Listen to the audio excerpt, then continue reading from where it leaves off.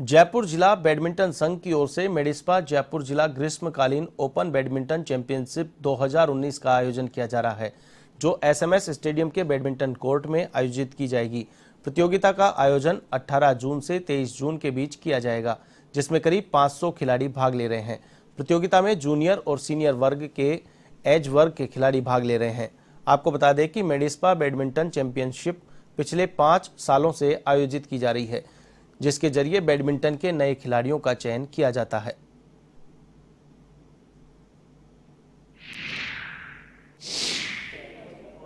Normally क्या है, badminton प्रतियोगिता हम लोग पाँच साल से ऑर्गेनाइज कर रहे हैं, जो डिस्ट्रिक्ट लेवल की है। और राजस्थान डिस्ट्रिक्ट बैडमिंटन एसोसिएशन के कोलैबोरेशन से ये आयोजित की जाती है, जिसमें पूरे डिस्ट्रिक्ट के हर एज ग्रुप के कैटेगरी के लोग इसमें इन्वॉल्व होते हैं। और हर एज ग्रुप के अलग अलग singles, doubles, mix doubles category के इवेंट्स कराए जाते हैं।